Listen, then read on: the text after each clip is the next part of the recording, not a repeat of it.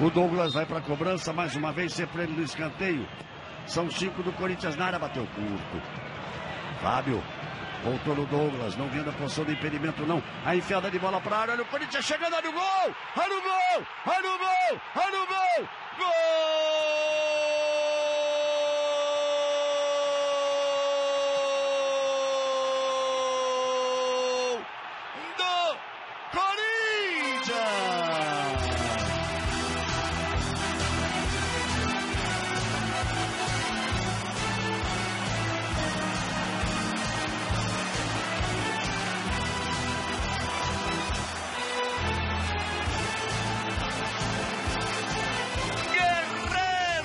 Dele.